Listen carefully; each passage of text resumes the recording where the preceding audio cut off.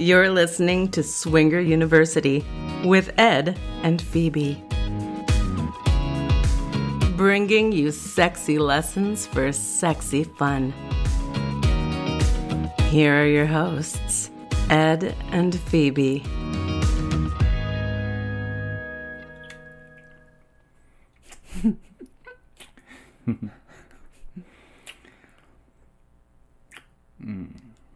Oh, uh, oh, hi. Uh, uh, are we recording? Oh yeah, we recorded that. Oh. well, hello. This is Phoebe And this is Ed. bringing you another sexy lesson.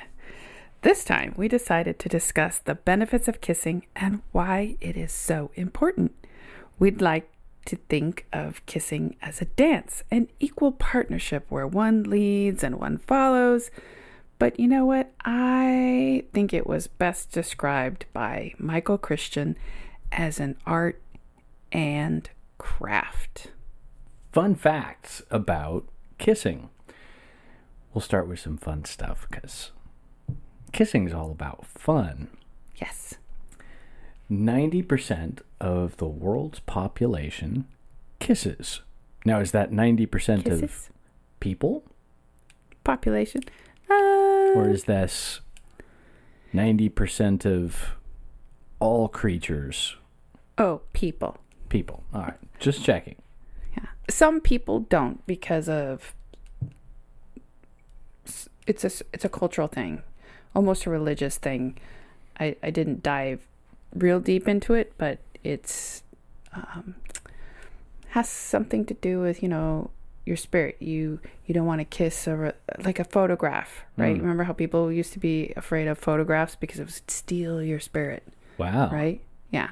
So in order to preserve, you know, Fascinating. Right? Never heard of that. yes. But I'm glad I Don't live in that, that, culture. because I really like kissing. Me too. One of three people kiss with eyes open. Now, I go either way, at Mhm. least with kissing. yeah, me too. Sometimes I like my eyes closed. Sometimes I like to watch. Sometimes I'm kissing someone and looking someplace else, like Yeah. the other bed, Oh. to see what's going on. Right. So I have my reasons for opening my eyes. And part of that was that it's so close that most people can't focus, so the automatic response is to just close the eyes. It's pretty hard for me to see that close. Now it is. It's really hard for me to see that close now. Stupid glasses. I know. Interestingly enough, French kiss or French kissing was introduced into the English vocabulary in 1923. And oddly enough, it was actually a an ethnic slur against the French culture because they were overly, Overly sexual. Oh, How terrible. how terrible. Yeah. Hmm I know. I don't get it. But I anyway, know. there you go. There you go. Overly sexual French. Yep. Lips have one of the thinnest layers of skin on the body with over 1 million nerve endings. So, very thin skin and lots of nerve endings, which means you can feel everything through your lips. Yeah. Which is probably why kissing and suckling and nibbling with your lips feels so good. Mm-hmm. Mm, Yes. and before we get into the health aspects, I did want to say we're basically calling ourselves out in this episode by I don't know if that's the right term. We we were not fully understanding why some individuals were not great kissers, especially if they had been with their Ah, partner for 20 years or more.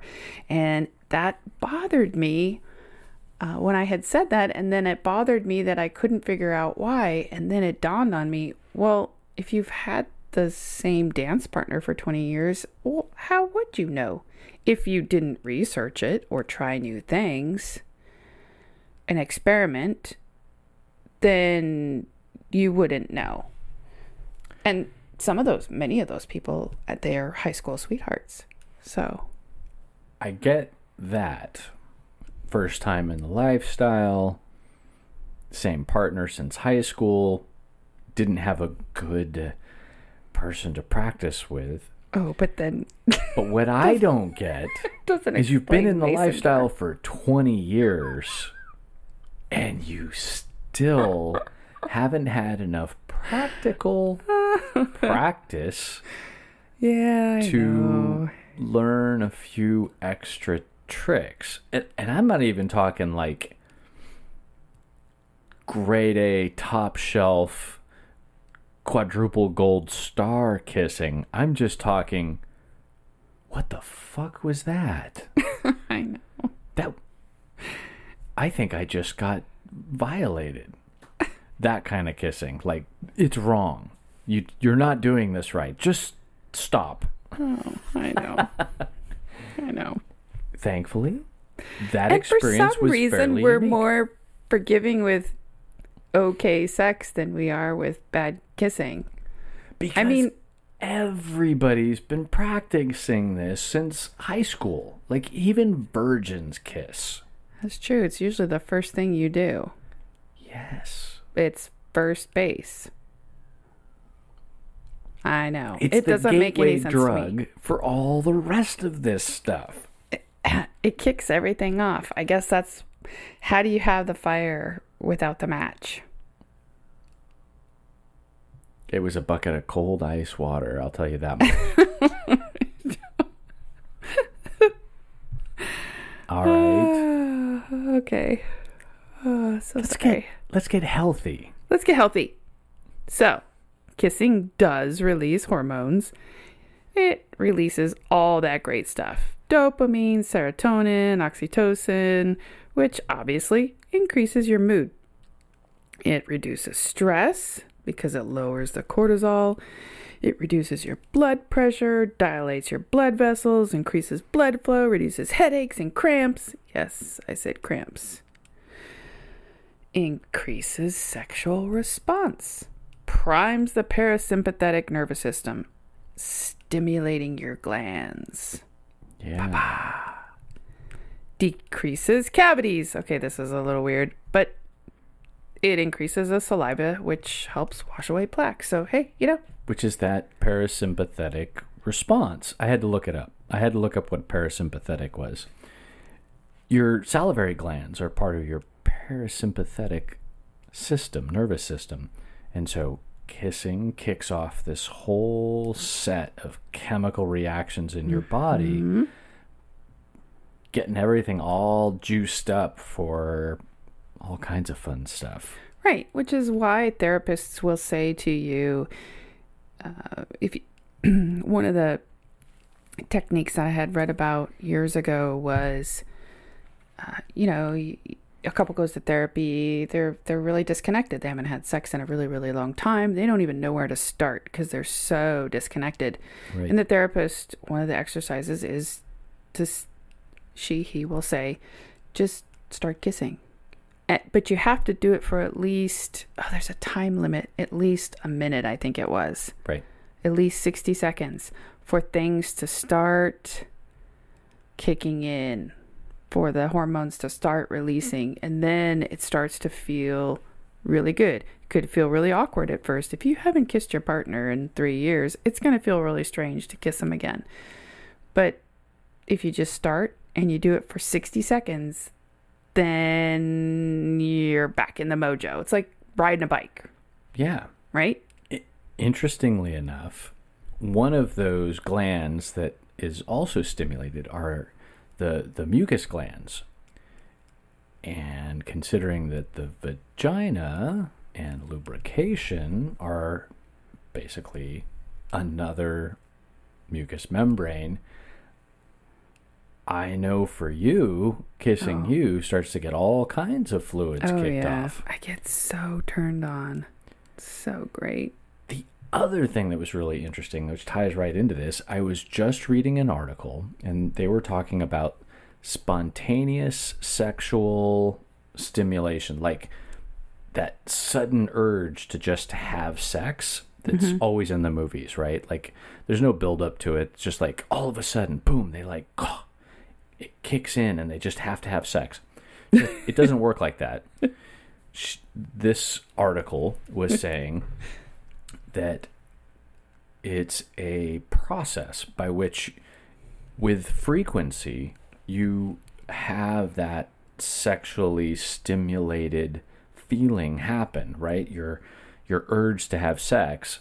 The more sex you have, the more sex you want to have. Yes. And so here's an example of kissing on a regular basis keeps the juices flowing, not only Yep. in the relationship, but in your sexual attraction. Right. Right. And the more sex. Oh, and I'll talk about this in one of my other episodes. I don't think I've talked about it yet because I'm doing research on several other ones. But they talked about the importance of the vaginal health and having sex well into menopause and the reasons for for that is it keeps the vagina lubricated keeps the muscles uh, um, intact, keeping them from atrophying, Right. and keeps the the vagina from actually sh- shrinking.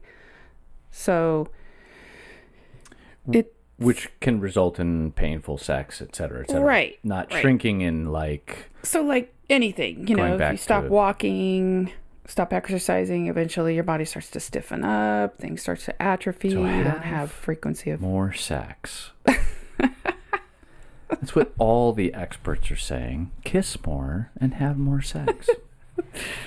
That's right. How are we supposed to do that? This whole social distancing thing. well, we just have to kiss each other a lot more Oh, okay. and have more sex. Okay. Like the last few days? Uh, huh. yes, Yeah, that- exactly like the last few days. Speaking of the last few days, it burns calories. So you burned a lot. I've been getting my cardio in. I'm Yeah, you telling you, that did. much. Eight to ten calories per smooch. Now, you're you're not gonna get a habit burger burned off by kissing. I mean, that's a Right. lot of kissing and a lot of chapstick yes. to keep that amount of kissing going. But you know, calorie. It's like a It- step. You know, Right? you got to get your ten thousand steps in. You got to get your. That's what we need.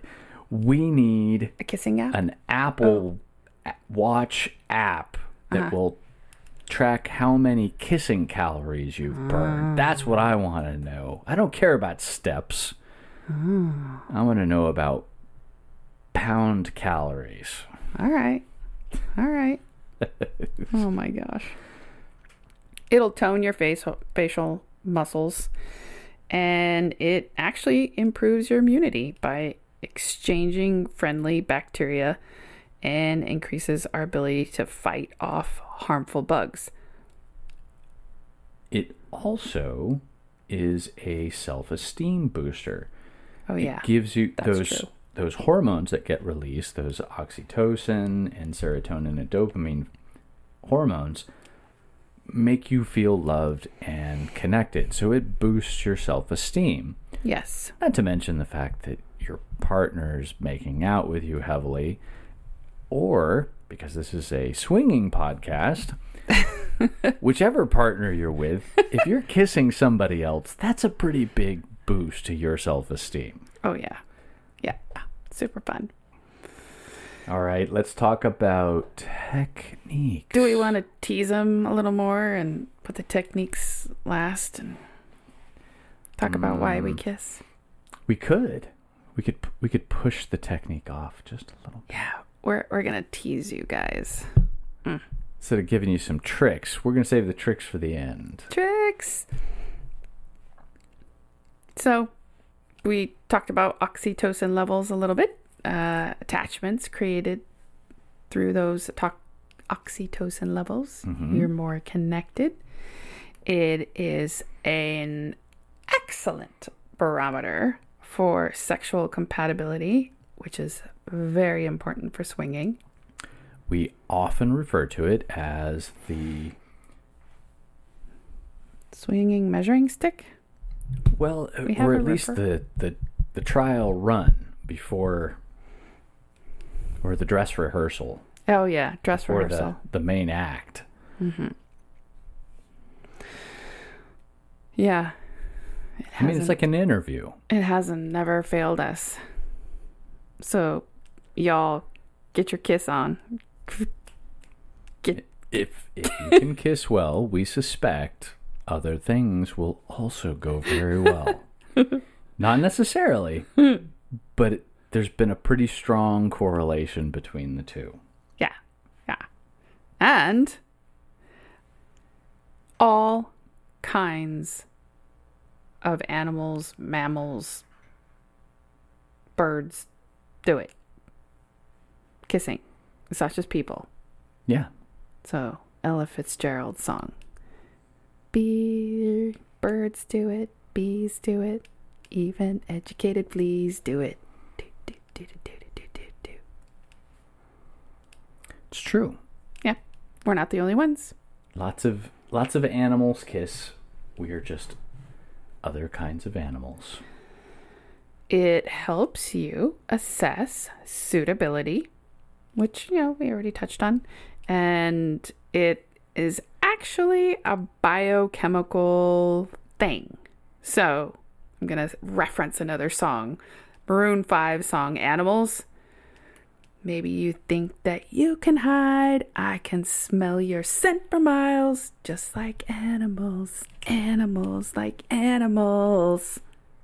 Pheromones Yes. right?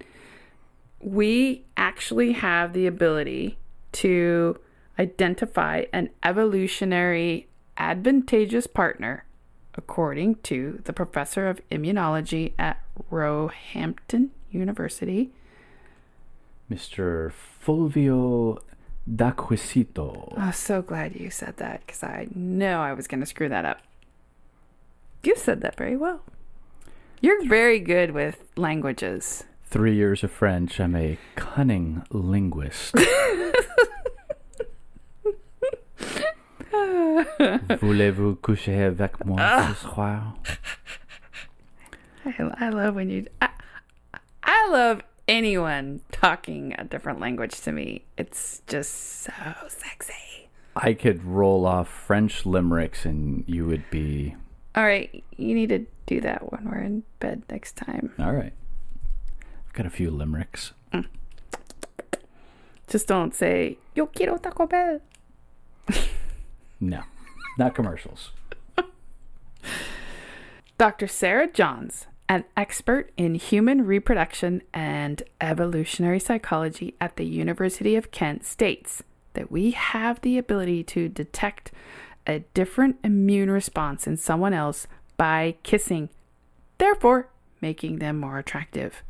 Because, coming from an evolutionary standpoint, this is really important since any potential offspring will be better equipped to fight infectious disease and therefore survival of the species. Dun dun dun. Hence Maroon 5 sniffing you out. Ba ba ba. Yeah, it all comes down to biology, biochemistry, this this constant need to reproduce. Yeah. You don't have to produce offspring, but you should try. I never knew that we had that ability to detect someone else's immunity. She stated that basically our olfactory senses sense of smell was shit. But kissing, we could taste someone's immune strength Hmm. or response Fascinating. I- and that was if it was compatible or attractive and however that all happens I in the would back of our, to know. in our monkey brain way back right? I would love to know what that study looked like. And when the next oh. study is going to be conducted because Like, I volunteer as tribute. all right, we're The last one you have down here is uh, a behavior that's transferred from being an infant. And I suspect that has to do with breastfeeding and kind of like the oral stimulation Yep. that we're all kind of used to. yeah. I was breastfed. I still love breasts. Clearly, there's a correlation. Must be. I love breasts too. See? That's the answer. Who doesn't love a big, big nice booby? Titties are the answer to the entire I know. problem, right there. They're Okay, always the answer. love is the answer. No, titties. Titties are the answer. Yes. You had made a really fun reference earlier to Oh, kissing? kissing and Unleashing all kinds of things? yes. Yeah. It, for me, it's more than just the oxytocin and the hormones. Kissing makes me want to release my pants. Every single time. Every single time, I know. Uh, Every time.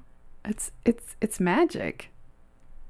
It, it's magic. They just poop, fall right Just off. fall right off. Bam. Yeah. Or I just wear the kilt and then I don't even have to take them off. I know. Just raise the kilt. All right, everyone. Techniques. Y'all want to know some techniques? These are some fun techniques. These are fun. So these are things to try. So get Yeah. out your notepad, Yeah. get your pencil out. Listen we're up. Gonna, we're gonna take notes. Mm-hmm. First technique: Yep. lip lining. Mm-hmm. Trace the tip of your tongue around the curve of lips, especially the thin skin in the corners. Mm-hmm. So, do some lip laps with your tongue. Lip laps. I like it. Yeah. I I like to lip lap something else with my lips There you go. because it feels really good. it does feel really good. Okay. we're- Back to kissing. Uh gentle twirl. Slide the tongue inside and twirl it around slowly, allowing lips to passionately engulf your partner's lips. Men, of course, tend to prefer deeper, wetter kissing. I don't know why I said of course. I like it the same. Oh, I like it deep and wet. But you do. I have noticed that. Oh, mm-hmm. So many ways do I like it. deep. And you'll start kissing me deep and wet, which turns me on. And then I start kissing you deep and wet. Mm. So it's like that dance. We'll take a short recess and pause this. You won't notice because I'll edit this out, but we're t- we're gonna take a little break. All right. With the energy kiss. Uh huh. Rest your tongue inside your partner's mouth without moving, while pressing your lips passionately into your lover's lips, and breathe through your nose. So this is kind of a tantric kiss. Uh huh. Very little movement. Right. just closeness and pressing. We kind of do that when we're having sex.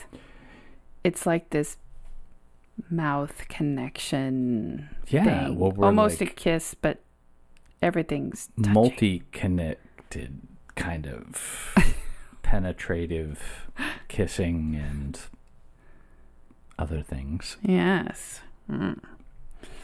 Sweet spot. The space between your upper lips and teeth. It's very sensitive. It's basically like the frenulum of the penis. Slide your tongue inside and twirl it, teasing around the shallow space between your upper lips and teeth. Then move onto some deep French kissing. This this is the running your hands up under the bra style of kissing. right? This is this is feeling around before you get to the real thing. I love your your visual over there. Oh, I'm picturing the whole thing. Like I mm, Okay, this this next one, this isn't a. Oh, sorry. this is a commentary on me right now and this whole co- COVID not doing enough like personal grooming thing. I see why Phoebe threw this in here. This is this is her. This is passive aggressive. I'm, I'm telling you right now. No, it's not. Naked uh, lips. Naked lips. I do I do love my naked. Try kissing with no facial hair. Now, I go between shaving and mm-hmm. and growing a bit of a a mustache, um, mm-hmm. goatee kind of a thing. Mm-hmm. But and and I feel this too, and that's kissing with having a mustache. It's it's not as good. I mm-hmm. can't get in there. I feel like there's something in the way. there's like a caterpillar stuck between us. Yeah.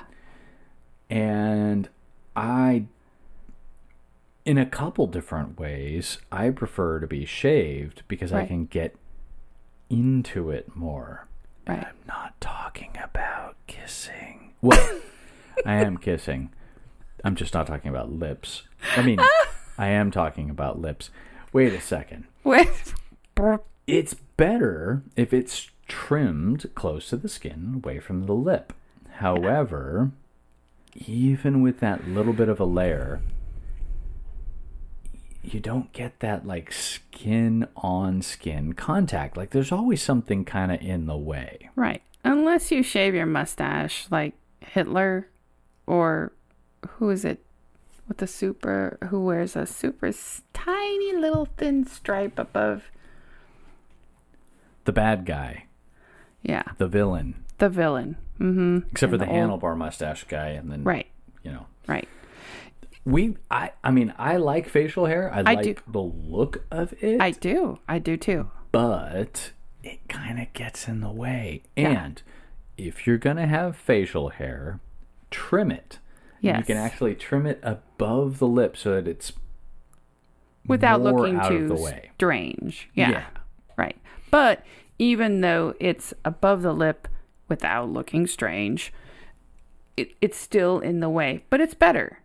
That's because we use our entire faces when we're kissing, honey.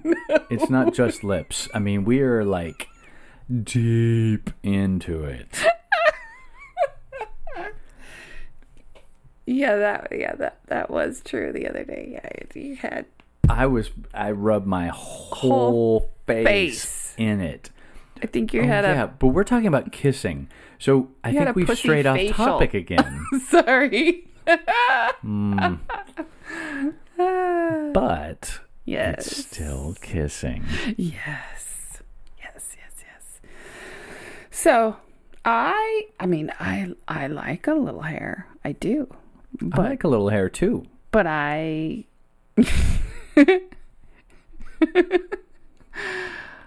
I do prefer a naked lip. Just like the ladies, a little trimmed, Yeah. well manicured. yeah. It's all good. It's all good. But try shaving it too.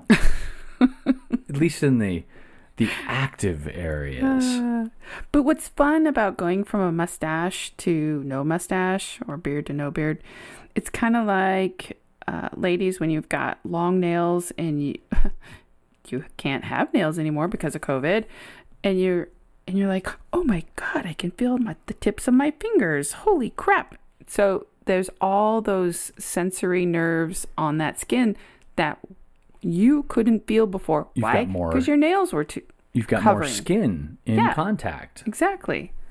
So it's fun. I will periodically, bef- even before I had fake nails, um, I'd grow out my natural nails and then I cut them back. And I always loved that because I was like, ooh, new sensation. I can feel things. Mm, touchy feely. Ooh. Yeah, it's, it's kind of fun. I like it.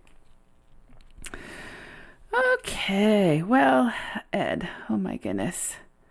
Oh, we've got some great a great reference for you. So I was doing the research and I came across this guy, William Cane, which I talked about earlier. He wrote a book called The Art of Kissing. Apparently, his life changed overnight. What? And he wrote this in 1991. 91. And I was like, That was a long time ago, right? And I was even like, for me. Yeah. And and so what's fascinating to me is I'm like, oh yeah, of course kissing. Everyone knows how to kiss. La, la, la, la. Apparently not. Apparently not. He writes this book. He's an English professor, yada yada yada. He decides to write this book.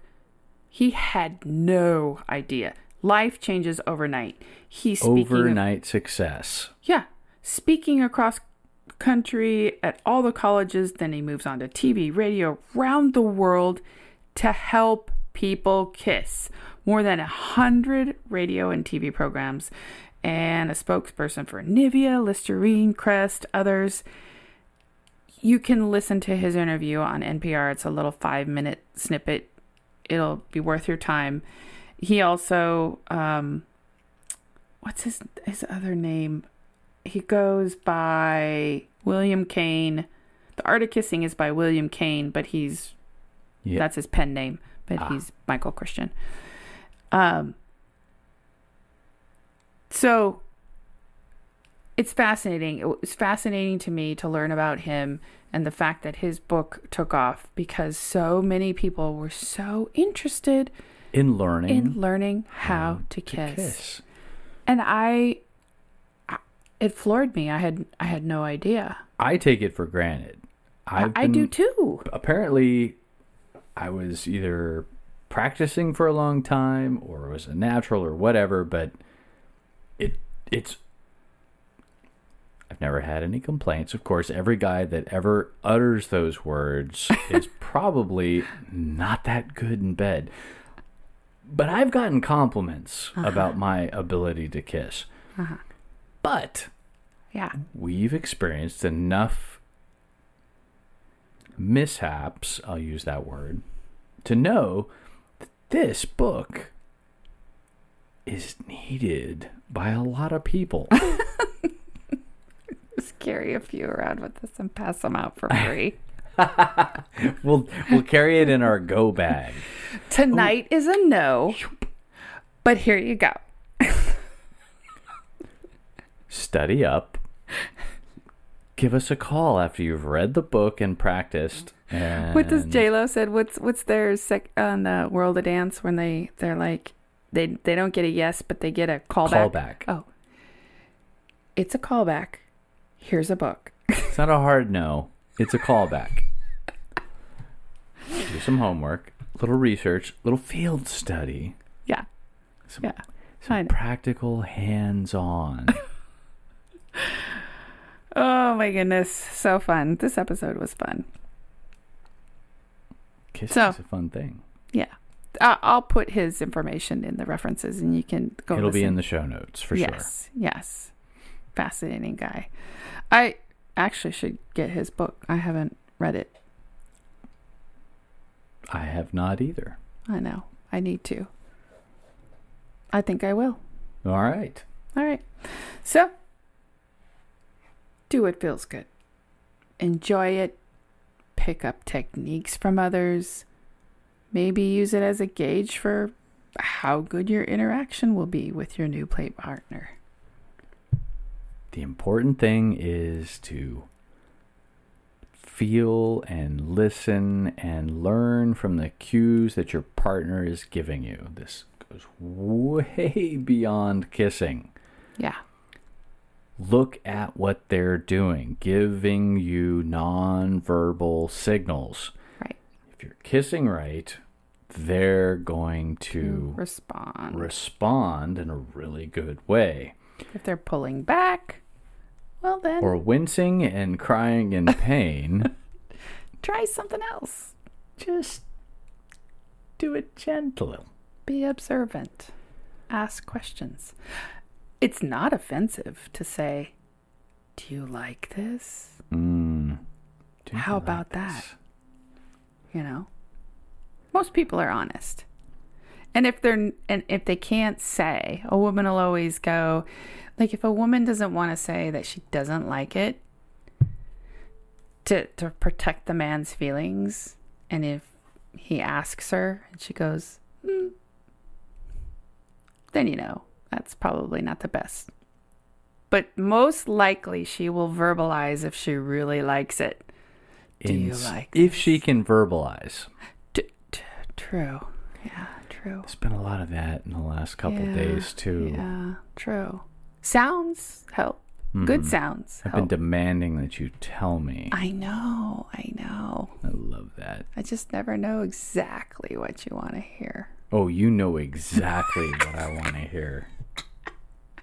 And on that note, go out and kiss some people. Yes, Get get good at kissing. yes. Do some practice. You're isolated, you're at home, you got nothing better to do but kiss each other.